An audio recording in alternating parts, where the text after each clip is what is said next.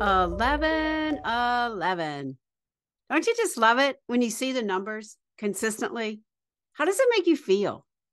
Do you feel like you're in this like aha moment? Or maybe the angels are with you, like it's a sign you're connected? Yeah, well, today we have that energy, 1111, and it's a portal of energy. And in numerology, we even have it as 11 11 11, which is what happens when you add the year 2023 to 1111. It equals out to another 11.